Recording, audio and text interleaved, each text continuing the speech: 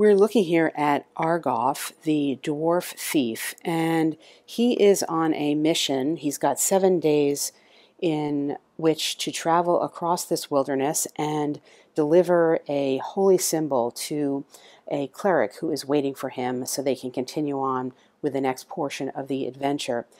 He's got two ways to get this holy symbol to the cleric. One is just to find the cleric.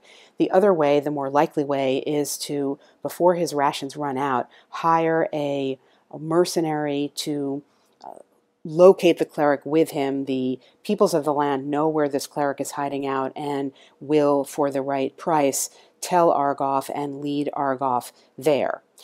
This is the uh, play portion of the solo RPG PG tutorial series that I've been running. You do not need to have watched the first two videos in that series to watch this one. It's going to be self-contained, but uh, if you want to know the background of how I came up with the story and how I'm using the map here and why I've decided on the basic fantasy rule set to run this, you can look at the earlier videos. There are links below.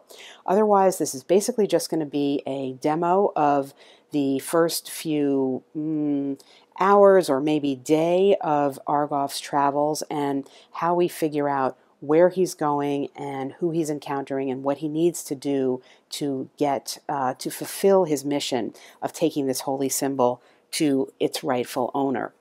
As to the symbol, I think I've decided that I want to I want to figure out exactly what the symbol is, and I'm going to do it by using this dictionary of symbols. There's not really a great way to do this without using a computer with a random number generation between 1 and I think there's about 1200 pages in the book, but I don't want to do that. So I'm going to be imprecise and simply roll some d10s until I get a number that is within range um, up to 4 d10s. So we'll see that um, we roll a 4, and we roll a 7, we roll 8, 478, so it's got to be on page 478.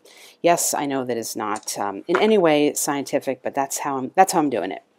So 478, and we will find something about our symbol, and let's see what we get. All right, it's a headdress. This is a word which can mean both what one puts on one's head and also the way in which the head, or rather the hair, is dressed. A ceremonial headdress will be different from others, and he or she who wears it will tend to partake of a magic power like that imparted by a crown. According to its shape, it will symbolize harmony with earth aspiration toward heaven, or the accretion to its wearer of heavenly powers. Interesting. Square, pointed, round, tall, or flat. It has been claimed that wearing a hat could mean that the part played by the hair as recipient of celestial influences was at an end, and even that the ultimate goal of the initiatory quest had been reached. However, reaching that goal does not stop, rather, it intensifies its mediatory function. The tips of the three cornered hat, like the spikes on a crown and like the hair itself, are conceived as images of the sun's rays. As a head covering, the hat also symbolizes the head and thought. It is, once again, a symbol of the identity. Well, interesting, interesting. So, our thief has stolen a headdress from someone. It is a magical headdress and it is going to symbolize, let's see, it could be square, pointed, round, tall, or flat. Um, let's see what it is square, pointed, round, tall, or flat.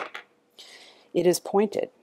It is a pointed headdress, and perhaps it is a crown in that regard. And it will um, symbolize an aspiration toward heaven.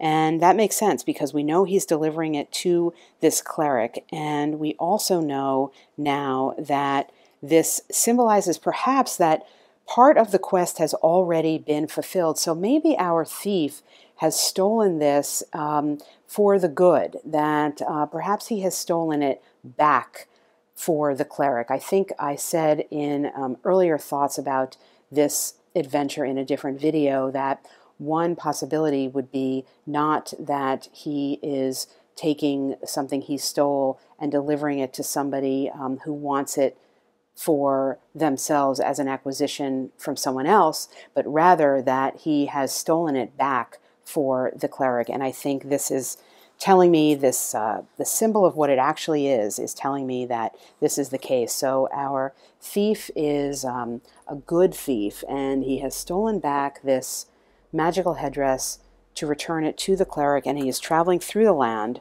to fulfill the um, next portion of his quest. Argoff, the dwarf thief, has been resting in the ruins here that's labeled number three, and he is uh, setting out for the next day. He's got seven days worth of rations, and I will talk briefly about how we're going to be keeping track of this. Movement is, uh, as I discussed uh, elsewhere, I'll just review it quickly here. Movement is going to be determined by two die rolls. And one is going to be for direction, and that's the d6, and one will be for not so much distance, but terrain. So we are using this map to give us the suggestion of what the terrain is. We are not uh, traveling necessarily in this world. This is really a pen and paper experience that we're having, but this is going to suggest the new terrain types to me. Additionally, we are talking about supply and the uh, notion of using a ration or being out of supply will have to do with if we end our movement in one of these existing structures, on one of these roads or paths, or in the presence of actually, this is um, the dark here is a river that will allow us to fish.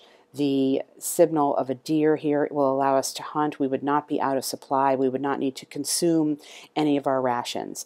But Absent that, we will be consuming a ration, and uh, we only have rations for seven days. I've got a few other housekeeping things to get out of the way, and then we're going to start out. How I'm keeping track of the weather is based on an idea from this solo wargaming guide and I've modified it a bit but what I'll be doing at the at the outset is to roll 2d6s to see where on this chart I land in terms of what the weather is. And then every new day I will roll again 1d6 and based on that roll I'll either move up or down on the chart and this will determine what the weather is. I've sketched out some weather impacts here. Uh, so for example if it's stormy that would have a line of sight impact. It might take me more time to do something and there would be no ranged um, attack possible. Now, I don't even know if this is going to come into play because, for example, I don't have a ranged weapon right now, but this is just a suggestion of something and may or may not come into play. But I like to sketch out a little bit here and also a little bit of what the weather possibly might be. In terms of keeping track of the time, it's going to be a basic, uh, we're going to start out at dawn and I've divided up the time here and I'll be rolling a D8 for every section of action that happens. And again, it's very fluid. You'll see how it plays out. But um, after there's a travel portion, or I should say, when there's a travel portion, I'll do a roll here to see how long that has taken to put me into a segment of the day or the night. And I don't have any effects sketched out here. That's going to be evolving as the uh, adventure progresses during the night, I will be able to rest and regain a health point per the basic fantasy rules. I've decided this is the ration chart. I was mapping out how the rations were going to be consumed. Uh, I've got seven days worth of rations. I'm not going to do that. It's getting to be too much detail, and I know that I'll forget to do it while I'm filming. So simply during the course of the day, uh, one ration will be consumed, and if I am within supply line, as discussed earlier, then I won't be consuming the ration. Again, not really sure how that will be playing out in terms of the impact on what, what happens. In terms of encounters and how they happen, I'm going to go to this DM guide from 3.5 and I'll be rolling on this chart here, this is the uh, random room contents chart that I am modifying here. It's a D100 chart and it will indicate uh, per what it is meant to do, it's going to indicate what's in a dungeon room. But I'm modifying this. So, for example, if I roll on um, for if I roll a 48, I say monster features and trap. This will give me a direction for how much I describe in terms of the environment, whether or not I'm rolling to have an encounter. On the encounter table I already um, presented to you or not. Features only will be something that will be generated out of the environment. Um, hidden treasure only, the same thing.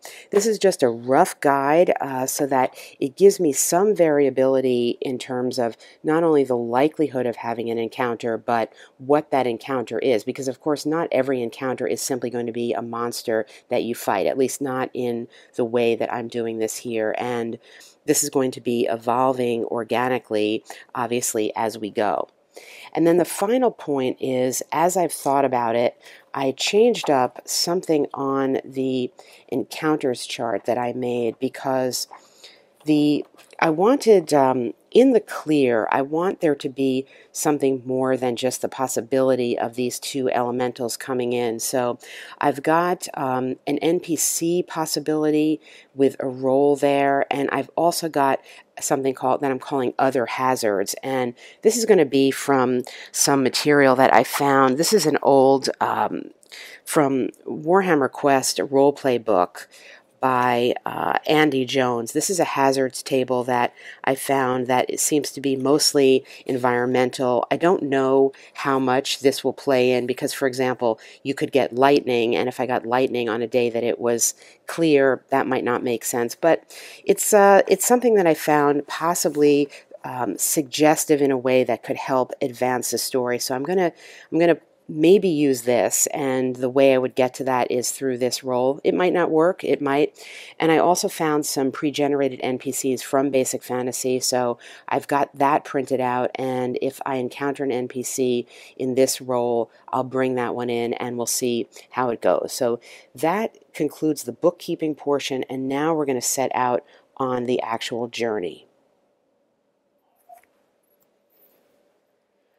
I did some random rolling, mostly in the Tome of Adventure Design, because I wanted to just do a brief description of where Argoff is standing in the middle of the map in the ruins. And I did a time lapse of it. I'm having difficulty uploading it, so I don't know if that will actually be part of the video, but you'll have to take my word for it that uh, what I rolled for here when I was trying to get a description of these ruins was a partially collapsed manor prison, which didn't really necessarily fit.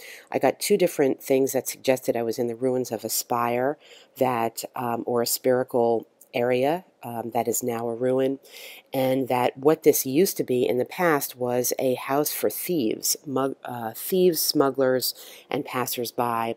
I'm in the hallway, and then I rolled on my own weather, which was clear, and uh, there's a hint of early morning fog and a sort of slight acrid or decaying smell in the air. That immediately suggested this story to me, and the story is now uh, coming on as a more of an overarching idea and background. So I wrote, a hint of the rising sun creeps through the stone ruins of the manor in which Argoff has spent the night. He has camped amid the broken spire of a once great thieves' hideout, now known throughout the land as a haven for the thieves of light. Thieves of Light, I have decided, uh, per what I was discussing earlier, that I Argoff is really returning. He has stolen and is returning this magical symbol, this magical crown, to the cleric. So he is a thief of light. This band of do good warriors and cast offs pledged their lives to all fellow citizens however they could. After the rise of the evil wizard Karloff, maybe I'll change that name, of the north, this, uh, this manor house was lain to rubble. The day dawns clear, with only a hint of fog from last night's storm. There is the slight smell of decay in the air as Argoff surveys the crumbling ruins of the good thieves' den. So immediately, what I've got here now on, on top of as a framework for the very basic structure that you saw me develop with my thief in the wilderness. I apologize for the light here. It, it is early morning and I don't have all the lights on yet. But you could see up top, this was the original structure. I had some thief with a holy symbol traveling through the wilderness trying to get to the temple. What, what this has now become, it is becoming a story of my thief alone, uh, separated from his band of thieves of light, thieves that do good in the world and try to steal things, to rectify uh, problems that have happened before. He is taking this holy symbol to the cleric. He has found himself, he's woken up in these ruins here, and this is simply suggested by his place on the middle of my outdoor survival map because I'm going to be rolling for movement here, so I wanted to start him out in the middle, this ruin in the forest, and um, he is going to, I think before he actually goes anywhere, I think he's going to look around. And in order to look around, we are faced with the very first roll on some form of yes or no table. I'm showing you one here from the ABS Solo game engine. This is actually a chart that shows you how to use different types of dice. Uh, this is by Ken Wickham. I've also got my just general percentile one, and I've got a bunch of others that I can't find right now. I'll show them to you during the course of this video. There's lots of lots of different options here, obviously, and they're on the one hand so simple, on the other hand they can be very complicated because this can be, I think, the place where people start to stop what they're doing if um, they are rolling on something and then uh, they get a yes, and then well then what, and then they get a no, and then it's can get it can get difficult. However, um, I'm going to go with this for right now. We got the 3d6 going, so I'm going to go with this chart, and I'm going to roll to see, first of all, uh, this, it, are there any, is, is there anything left behind here worth taking? He's looking around these the ruins of this hallway, of this old Thieves' Den manor, and um, it has been obviously heavily looted over the years, so I would say that um, it is very unlikely that there will be something here, but we'll do our roll and we'll see. And the way this works is we're going to roll our 3d6, but we're going to take this modifier of minus 3 since I think it's very unlikely that we'll find anything. But we roll a 9, we roll a 10, that brings us down to a 7. And what does this mean? No, um, not only uh, we were just just uh, just a one away from getting out of this, but not only is there nothing here, but our pawing through the rubble has disturbed something, and this something is not going to be something good. Given where we are in this ruin that is both inside and outside, what we find is probably some type of a plant situation here growing amid the rocks. And what do we what type of plant is this?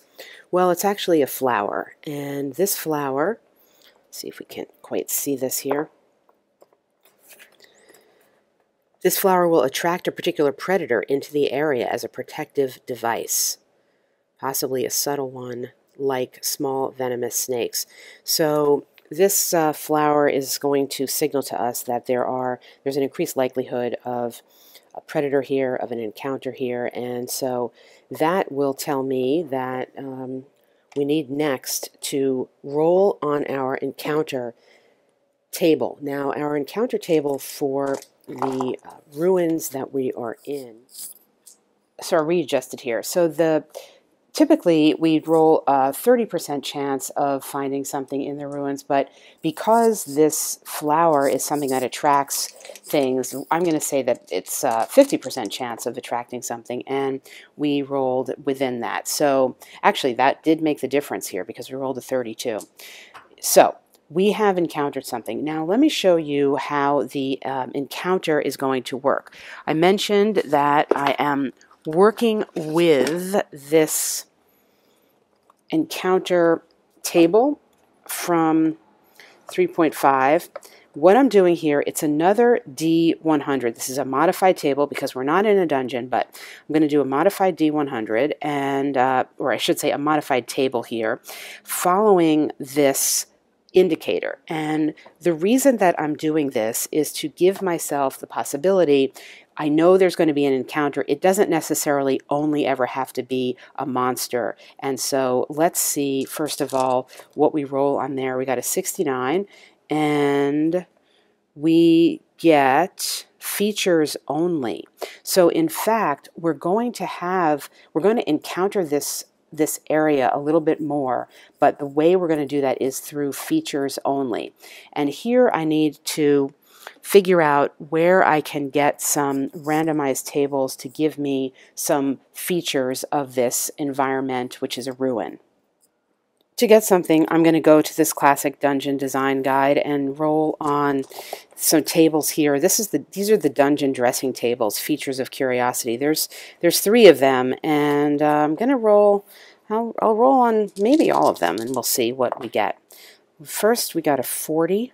Uh, I don't know if you could see that roll, but it was a 40. This is a water clock. So let's make a note um, of that table 2 will give us, get a better roll on the camera, can't seem to get it on the camera here, a 28. Manacles bolted to a wall. So we're in a ruin. There might not be uh, an actual wall. Maybe we'll be able to get these manacles. We'll see. Let me note that down. And let's see what else. One more. We got one more table, so why not? We'll see if we can find one more thing here. And that is a 61. 61 is going to be uh, more rolls. So think we will just pass on that. So we've got, uh, we found a water clock or possibly found a water clock and some manacles that are allegedly bolted to a wall, but of course they're not. They're within the ruins. They are probably um, adhering to something relatively crumbling. So uh, let's just see, can we pull these, can we pull these manacles out and take them with us? We'll stick with this table for now because I still can't find the rest of my tables. And um, I think it's going to be, I think it's going to be somewhat possible that we'll do this. So we're going to get a plus one modifier to our three d6 um, rolls here and uh, see what we got. A 2, we got a 6, and we got a 10. And um, let's see. No, we didn't. That's a, it's a 12. And I said uh, 13. So yes, we do. We got the manacles. We will add those manacles to our collection. And I think the water clock, such as it is, I'm going to just leave that as it as it is. I'm not going to try to interact with it or take it in any way. I'm not sure thematically how that makes sense for me. And um, again, you know, this is um, you are the creator here. You you decide, and uh, I have decided we're just going to basically ignore that. Uh, so we have we have uh, in this first little spot here, we have managed to find a flower that could have potentially attracted something uh, deadly to us, but that didn't actually happen, and instead we discovered some manacles that had been bolted to a former wall, but it was in ruin, so we were easily able to take them and um, pocket them, and now we're going to start to travel travel along. Here we are, we are setting out from these, uh, these ruins in the middle of the forest where we found these manacles, and to do that, this is what we're doing. We're doing this roll, and I'll show you uh, what everything accounts for. We have rolled for the direction, we will be going in this direction, that is this die here, and we will be going eight hexes in that direction. So um, one, two, three, four, five, six, seven, eight, and that is going to land us in the desert here. That's the desert, and it took us eight hours to to go that far. So we walked. Um, through, again, I'm not accounting for this, but if you wanted to just narrate this, you could do it however you wanted. Uh, we walked from the ruin in the forest through the mountains, trekked all the way to a desert area. We are out of supply here. We're sort of at the edge of the mountains, but we are clearly in the desert, and um, we will now mark down how much time we spent to get there. So you can see one, two, three, four, five, six, seven, eight. We're in the desert basically at high, you know, slightly after high noon. Uh, we're right here in the middle of the day. It's going to be bright. It's going to be hot. And that is something, it has been a clear day. So that says to me there's no clouds. There's the, the sun beating down on us. Now, I will say, uh, I will say a couple of things. I did not opt to have this be any particular type of season. Because uh, were it a season that could also affect the weather i decided uh, not to do that because again it would just be something i probably would forget doing this on video. So um, we are just going with you know no seasonal impact. And in this particular case i'm in the desert. It's clear. I'm going to say that it's hot because it's since i have a desert wilderness table here. I'm going to roll on it and just see if we can get any um, description of the desert map feature. Why not? So we'll do go back to our D100 and see what we get. We get an 80, and that is going to be ripples. Ripples can be as large as small dunes, but don't necessarily have the gentle slope, steep slope formation of a true dune. All right, well, that gives us gives us a little bit of a sense of something, and um, let's find out. Let's see, should we? Let's uh, let's roll on this dressing table, see if we get a little little something there. Also, we rolled a two. We got some bones of a large animal, not to be not unexpected here. And uh, let's see what the sand is like. The sand is this uh, sand causes a risk of mutation, shape shifting, or physical change. All right, that may or may not come into play. And let's um, let's do a little bit uh, more of desert dressing here. 57.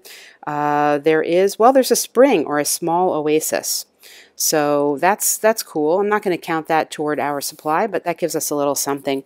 Now we go to our own our self-constructed likelihood of encounter chart. We go down to desert, we see it's a 40% chance of some type of encounter. So let's see, are we going to have an encounter? We are not. We are no encounter here in the desert. So we're going to move on. And to move on, we go back to back to our uh, rolling. Let's see where we're going and how long it's going to take us. We are going same direction and we're going to be moving five paces probably into the mountains. One, two, three, four, five. Indeed, we are in the mountains and it took us three hours to get there. So we are moving uh, the end of it's the end end of the day it's getting toward dusk and we are in the mountains and we can if we choose to roll up for a little more flavor about the mountain all right, let's see. Uh, let's see what we got. This is a hill dressing, but why not? 21. There's some carved rocks here. All right, well, that's going to give us something to think about. So there's some carved rocks somewhere in our uh, line of sight, in our vision. And see if there's anything else here and some fossils. Well, of course, we're seeing lots of uh, fossils. We already had mention of bone. That's to be expected. Let's see maybe what type of fossil. Uh, why not? We got a 51, and um, it's a human-sized. Oh, it's a head resembling a different type of creature. So there is um, there's a carved rock, there's a head. Maybe there were some intelligent people who who lived here before. So this is what we've got, and um, now we can see if we get we have a further directed encounter or if we want to investigate this carved rock. But uh, let's check on, first of all, the likelihood of the encounter. In the mountains, it's going to be a 50% um, 50% chance, and indeed, uh, definitely here, we're going to have some type of encounter. So we need to go back to our chart and see exactly uh, what, what is going to be the nature of this encounter. So we're back to this encounter table here, another D100, and we'll give it a roll and see. We rolled a 66, which brings us to, again, features only. So this is telling me we need to investigate this, um, this carved rock, and um, we've got the mention of the fossils here, and we're going to take a look at that carved rock and see, um, see what we can make of it before I get too far down the road of looking at the carved stone, the carved rock, and seeing what it might be, I want to take a moment and just pull back and look at the bigger picture here and talk about how um, I make some decisions at certain points in the adventure as it unfolds. Because what we've got here really is we are getting in our die rolls a number of instances where the features of the environment are the things that we're meant to be investigating. We've gone through um, nine or so hours of the day. We've had a couple of um, event portions that happen, and yet we haven't had any direct creature encounter yet. And what we have had, though, is we have interacted with the environment. We got a an old manacle, and we found out that the sand that we were in when we were in the desert portion was shape shifting sand, possibly uh, could have a risk of mutation and some sort of notion of physical change. And then we get to this carved rock, and um, we see the fossil that could be human sized, and we also have mention of an oasis or a little spring. All this suggests to me that there was recent life here, and more so than that, it suggests possibly that the manacle that we came upon had been perhaps holding someone who was imprisoned in the ruin, who escaped from the ruin, maybe someone who escaped through the ruin in the same path that we're traveling here and um, uh, at his death, represented by the fossil, carved something into this rock, and we have now um, come upon the rock, and perhaps we are trying to understand what the rock is. And I think that there is the likelihood of there being a connection among all of these things is very high, based on what the die rolls are directing us toward, and based on the concept of a story that is unfolding. And when the story gives you signals and signposts that seem to go together, it's easy to weave them together. So, with all that said, um, I can simply say I mean, there's two ways to do this really in your unfolding adventure. One, you could just simply say and narrate to yourself that indeed this carved rock is something written um, at the end of this person's life, the person who escaped the manacles that we now are holding. They made their way to this mountain. Maybe they were trying to get to the same place we're trying to get to, and uh, at the end of their life, they carved a message in this stone. You could simply decide all of that. Or if you wanted to, if you were following this line of thought, you could go back to some type of random chart that you could roll on and you could say, well, I think that all of this is the case. Um, what is the likelihood that that is the case? And then you could say, I think it is, um, it's very possible that um, all of this is the case. And you do your rolling here and you get a 9, 10, 11, 12. I won't mess it up here 13, 14, 15. And indeed, yes, not only is that the case, but also something else. So um, we would be directed via this method also to pursue this line of inquiry. So, this is one of the ways in which, as the GM part of the adventuring party, the adventurer in this unfolding story, you need to take the reins and decide, make some narrative decisions about what's going to happen next. And the tables can help, but an over reliance on the tables can lead you to um, just keep going back and forth. You get a yes or no answer.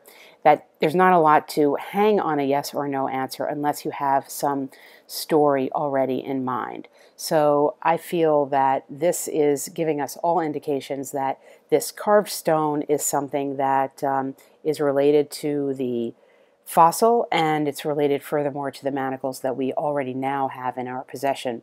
And the question is, what does this stone say? Are we able to discern what this stone says? Now, you'll notice we've gotten pretty far where we haven't even used the basic fantasy rules that we have. Um, we have all of our stats here. Here's our character sheet. I've been listing uh, what we're carrying, but we haven't had need to use any of the basic rules here. This is really the first time where I can go to a rule in Basic Fantasy and use it. And what that rule is, is the kind of general saving throw rule to um, succeed at something that isn't spelled out particularly in the rules. And I'll, I'll show you what that is. We're looking here at the saving throws rules in Basic Fantasy, and what it is telling us here, these are the ability of a character to resist something, but I'm also using it. Um, here is a kind of catch all that is the death ray. So it says that, um, you know, let's see, The saving throw versus death ray is often used as a catch all save versus many of the ordinary dangers encountered in a dungeon environment. So, the um, what we're going to do is we're going to use this rule because there isn't a difficulty number to overcome unless I'm missing it in the rules. So what we're going to do, and just to get in some of the basic fantasy rules, is we're going to roll um, and try to roll our death ray uh, number to meet or exceed is 13. And we have a plus four bonus on our death ray or poison saving throw because we are a dwarf. So we're going to roll the d20 and try to get, uh, with our plus four bonus, try to meet or exceed a 13. And the question, what we're really trying to do here is see whether, and believe it or not, I don't have out, I don't even have the d20 out yet because that's how little we've actually used this rule set. Uh, what we are attempting to do is to determine um, whether we will be successful in uh, uh, reading, deciphering this this writing on this rock, and then if we are, of course, the question is, well, what does it say? Finally, the first d20 of the game. So we're looking for a 13 or greater with a plus 4 modifier. And in fact, we got a 13 right with no modifier. So yes, we are going to figure out what it says. What does it say? We're going to lift up this stone. We're going to bring it to um, close to our body. And we are going to attempt to determine what it says. For this, I want to go truly as random as possible and to do that, I'm choosing one of my all time favorite books, my favorite books in general, and my favorite books for RPGing because it is just so evocative and descriptive and uh, fantastical yet grounded. So, we're going to roll a random number in this book, and we're going to do that by using the uh, random.org random generator the book here is paginated from 5 to 632, so we're going to just roll something on there, and we got 356. So we're going to turn to page 356 and just start reading. And whatever I get to first on 356 that sort of makes sense as something that could be written in rock, that is what it is going to be. And actually, it uh, does happen to start at a uh, the beginning of a sentence. I would have just started at the beginning of a sentence anyway. But here, let me let me get rid of this so we can have a better lighting situation. Maybe here, and we begin.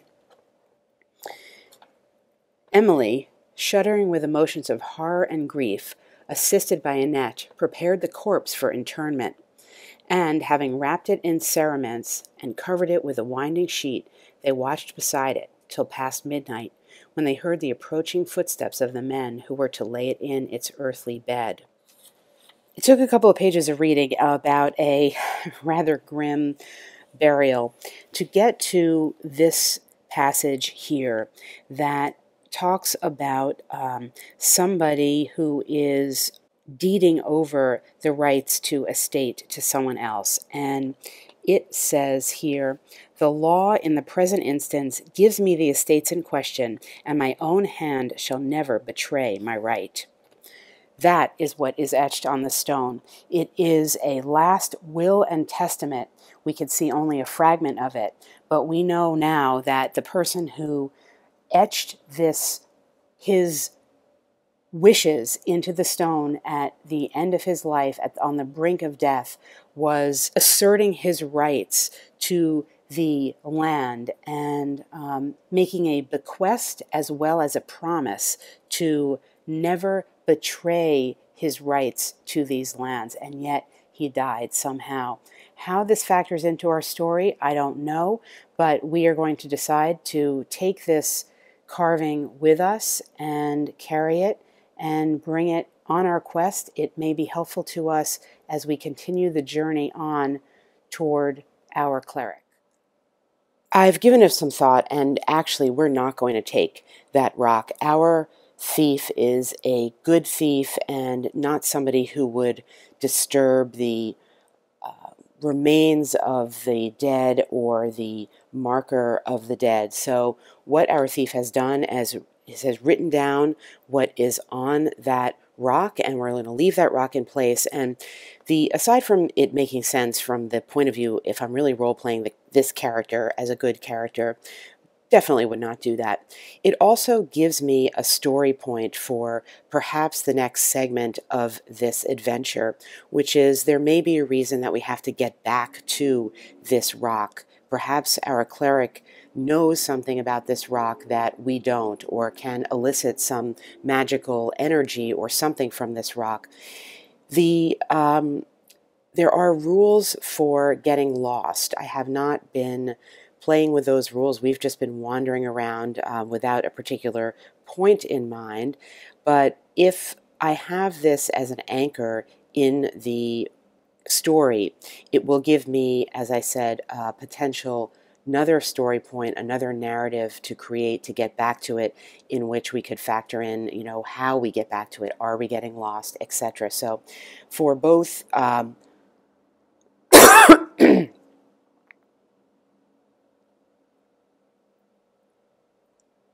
for both narrative structural reasons and for the role playing aspect of my character, it doesn't make sense for me to take the rock. So it will be left there. And now we're going to move on from this mountain area. We'll go back to our um, rolling of the uh, three dice to indicate where we're going and um, how long it's going to take to, to get there. And we're rolling what we got a six, which is. Um, the uh, northeasterly direction, sort of back the way we came, five paces, and uh, it's only going to take us two hours to do that. So we're moving one, two, three, four, five, and this is a good time to note, again, what I said and talked about in the other video. The map here is meant simply to suggest terrain. It is not meant to suggest actual location. So it's basically terrain and time. The fact that I ended up on this same hex that I was on earlier back in the desert does not mean I'm actually in the same place. So um, hopefully that will be clear to you. But I have been wandering now and I am have wandered into another area of the desert. We have spent two hours to do that. So it is now um, beginning to be nighttime and is going to start to get cold in that desert. And the next point that we need to do is to um, well, we're still not in any kind of supply, and we're going to roll for our chance of an encounter in the desert. I don't remember offhand what that is.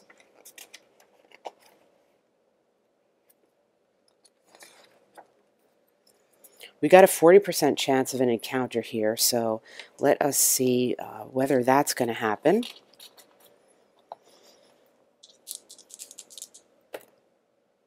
And indeed, it is going to happen. So we're going to have some type of desert encounter, and now we'll go to see what type that might be.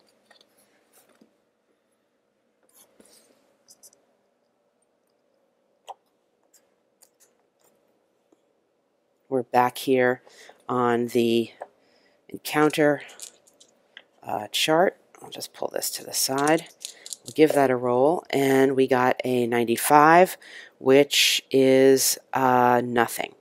So we will continue on. We just expended some time wandering around and see where we go next.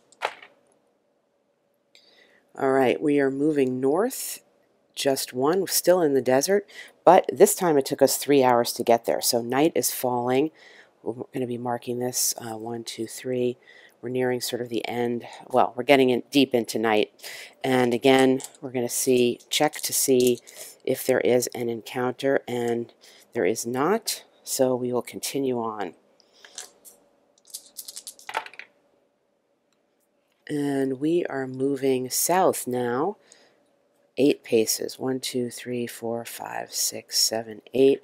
We're back into clear. We are right near a road. Not quite, but we're right near a road. It only took us an hour to get there.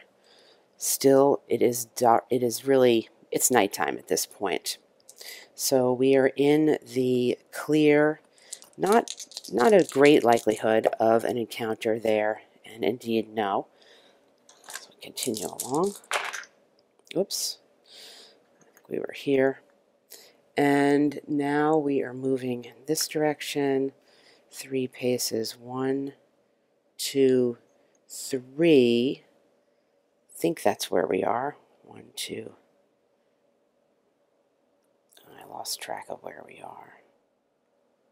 Yeah, that's where we are. I mean, obviously, it's I should have stated this, but obviously, I'm using something with a base that is not not meant at all for this map, but I just I used it because it's the closest thing I had to the guy I envisioned. I don't have a ton of minis, but it's it's suboptimal, clearly. In any case, that took us three hours. We're deep into the night here, and we are into the mountains. We're in the mountains at night, and um, we will see, yes, hmm, exactly. We are going to have an encounter. So, check out this, back to this encounter table. I'll just do this rolling over here and that was a 57 which is going to be features only. Really, really interesting, guys, because I want to, uh, this video is getting long, and of course I want to show you some basic combat, but may not be the case because I keep rolling on features only, and again, what this is suggesting to me, as I said earlier, is that I need to be paying attention to the um, not only to the environment to but to anything that sticks out in the environment that I may have found. So let's see where in the mountains we are and what we might find. It feels as if a little bit we're at this blank kind of spot right now where we've been traveling around. We haven't had a clear signal for a new encounter or anything. And sometimes when that happens, I will turn to something new that I haven't previously used in the adventure. And in this case, it's this hazards table from the Warhammer Quest, Quest playbook that I mentioned earlier. So the way this works is, and I don't know whether we're going to get something that will work because not everything is going to map. Obviously, it's a totally different system and not everything is even wilderness based, but some of it was. So we'll see. Uh, it works with two d6s. You've got one in the tens and the one spot. And uh, we will see, we rolled a 41. And we will see what that is. 41, lost. Well, huh, all right, we are lost. After a few days' travel, the warriors admit to themselves that they are absolutely lost. They are about to give up the journey completely when they notice smoke curling into the sky a few miles away. A couple of hours later, the warriors discover the source of the smoke, a small village not marked on their map. Here they are told that the nearest town is another six weeks' travel. The warriors can either carry on to the town or end their journey now and see what they can buy here. All right, this is actually something that we can use uh, from a narrative perspective. What is suggested here is it says that in a couple of hours we uh, can discover the source of the smoke and get to a small village. So it's the middle of the night. I'm bringing you back into our time track here. It's really um, almost toward dawn. So I'm going to spend that couple of hours that is suggested to us by this.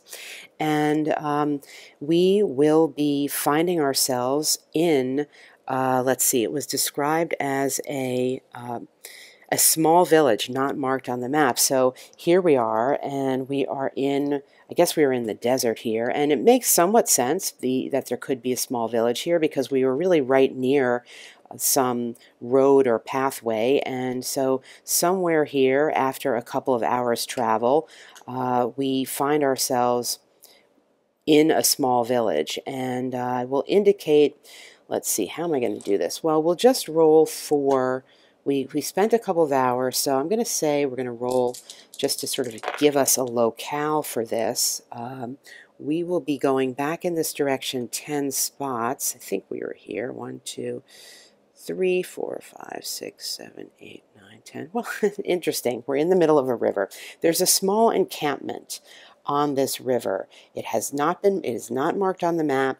We have found it and we are now going to interact with this village in some way. The first question I'm going to ask here is what is the likelihood that uh, I'm going to find somebody to interact with here? And for this, I'm going to go to the, uh, this is a table from Ironsworn. That is a, just a different way of having an odds table. I'm going to say it's almost certain there's going to be somebody in this village. And the reason that I'm going here is because I like this little twist. It says on a match, meaning the actual number here an extreme result or twist has occurred. So should I um, happen to roll an 11, um, something extraordinary will happen. I, I, like the, the possibility of that. But so we're going to say, are we, is there going to be somebody here that we can talk to, an NPC?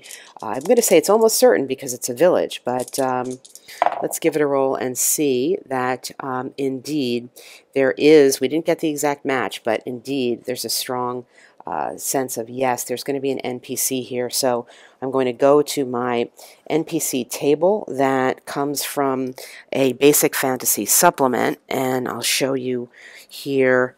These are pre-generated characters. I have uh, marked them up so they work out on a D12 roll as to who it is. I had to eliminate one of them to make that work, but um, too bad for the halfling male fighter. I ditched him, and I will be rolling a d12 that I think I need to retrieve to see who it is that's wandering around this village. All right, here's my d12. Roll, it's 10, and who it is is Katie Jones. She is a human female magic user.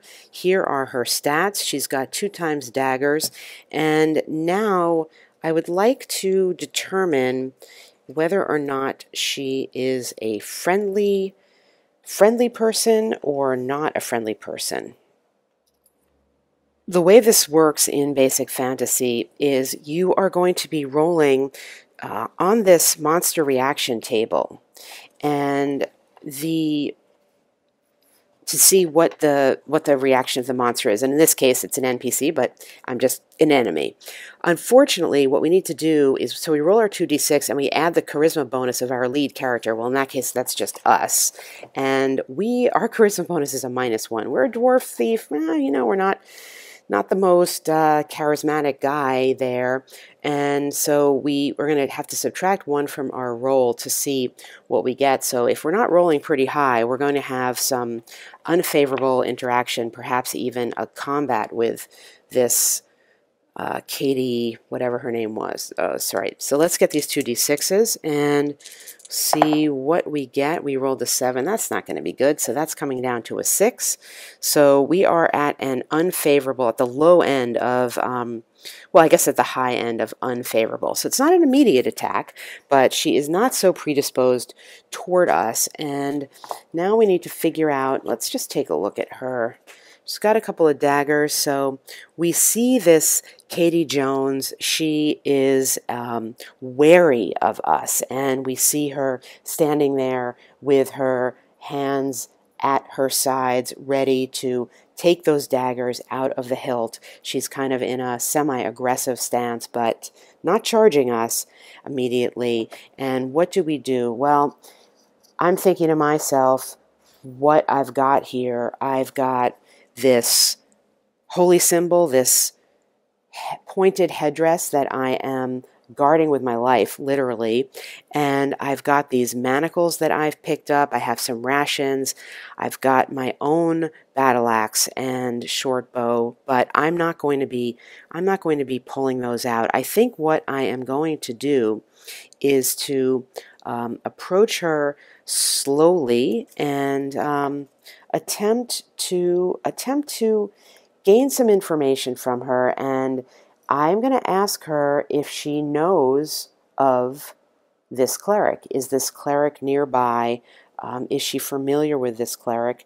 And I'm going to give, um, I'm going to go to this oracle chart right here for this, and I'm going to say that um, it's just completely unknown to us um, whether or not she knows this knows the cleric. We're going to roll our d20 and see um, what we get with that roll. And uh, once again, I cannot find that d20.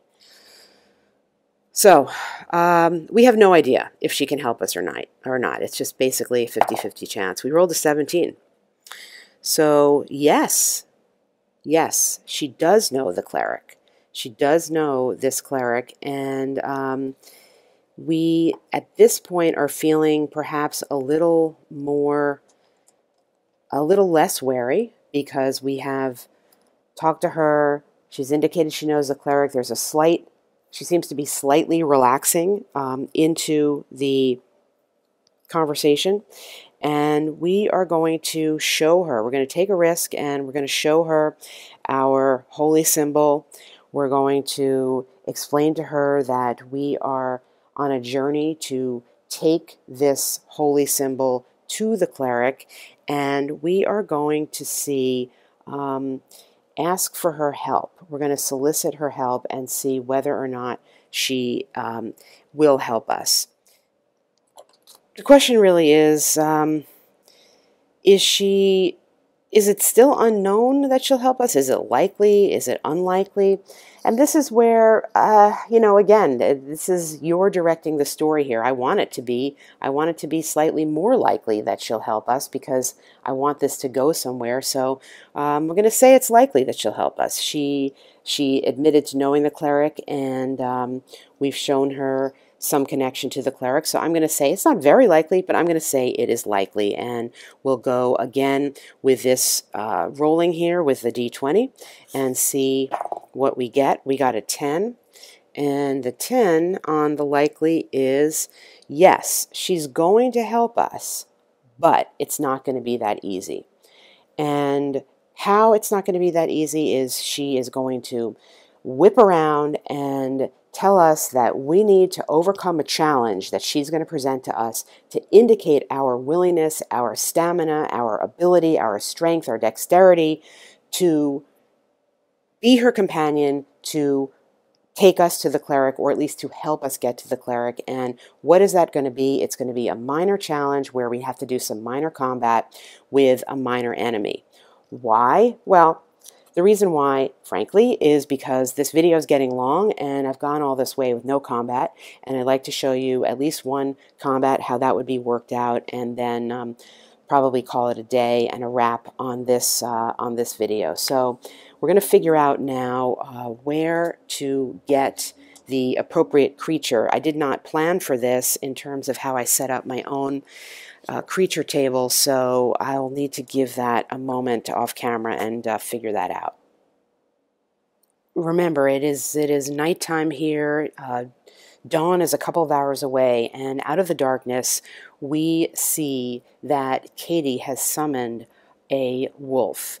It is the lone wolf. It is a wolf who is her traveling companion, and he is going to be the challenge that we need to face here to see how how worthy we are of um, engaging her services. The first thing we need to do is figure out how far away is this wolf from us? What, uh, what, what are we dealing with here? So I'm um, going to this table here, and we are in the same place, so we're going to be rolling two d4s to determine the distance away. So here's our two d4s. give them a toss. We got a 2 and a 1, that's a 3. So they're within melee range. And um, we are carrying, we have, um, let's see, what weapons do we have? Well, a couple points actually about us to start. We have a, um, both a battle axe and a short bow. What we don't have is are any modifiers to our um, attack at all because we are a very low level character. We don't have a lot of um, we don't have a lot of anything really in terms of stats. And the thing you'll notice right here, I don't even have any hit points indicated here. I haven't rolled for that yet, and I wanted to do that on camera so I could explain to you how I am going to be modifying this rule set. The, uh, the usual roll for our level 1 dwarf would be a 1d4 hit points. I'm going to do that, but then I'm going to multiply whatever I get by 4. Why? Well, um, I'm traveling alone, but I'm trying to simulate as if I was traveling with a party of four adventurers. So um, we're going to just do our, our hit points here, and then we'll also see what we're dealing with um, with the with the wolf there. So well, that came off camera. That was a four. You'll have to believe me on that. I'll do the roll again on camera so you can actually see it, although that really was a four. Um, I can't seem to get it on camera. Three. All right, we'll go with 12.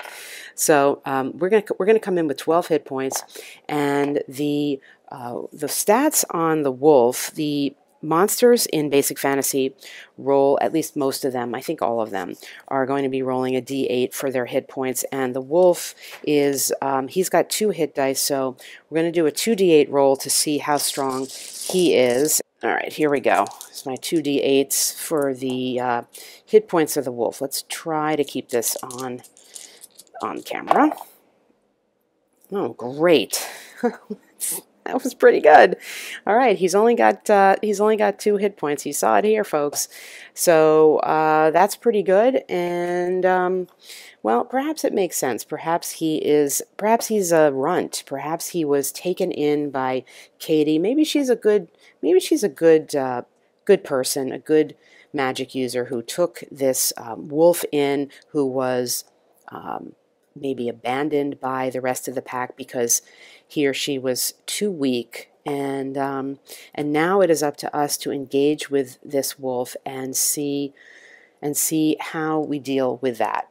The first thing that we're going to do is we're going to roll for initiative and see who is going first. We're going to be represented by the blue die, and um, we have the initiative here. So what we're going to do, we're within melee range of this. We're going to take our um, our battle axe is going to be doing the the larger damage that does 1d8 damage. We're going to basically charge at this wolf. Again we have no modifiers to our attack at all unfortunately at this stage. So we're simply going to be rolling and um, our uh, the AC of the wolf is 13 and um, we're going to be just hoping to um, get a, a unmodified roll as a 13 or greater to land some damage here on this wolf as we as we charge ahead. Now, uh, mind you, it is in the darkness, so um, that could potentially impact things. And we roll.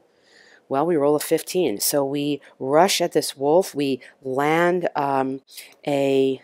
Uh, blow with our battle axe, doing 1d8 worth of damage. And let's see how effective we were in um, damaging him. We were pretty effective. So with just a just a one big stab, we have um, detained the wolf. Let's say that. This wolf, unbeknownst to us, is a magic wolf. This wolf is not going to die, and Katie is somewhat stricken at the ferocious nature of our response to her challenge, how we rose up and, um, without hesitation, went for the jugular of her companion. And this is something she is not going to allow to happen. So she puts a stop to this combat and um, rushes forward, cradles the wolf in her arms, and with an intake of breath and a conjuring motion with her arms up out of the dirt, she patches the wolf's wound and he rises to his feet again and stands by her side. Through the darkness, you can see her looking at you with something that seems almost like awe. She reaches into her cloak and pulls out a crystal. Slowly, she approaches and hands it to you and asks you to take out the headdress that she sees in your pocket. You pull it out and notice that one of the crystal spots in it is missing. You take the crystal from her, place it in the headdress, look her in the eyes, and she says, Yes, together we will find the cleric now. I have been searching for him my whole life. He is my father.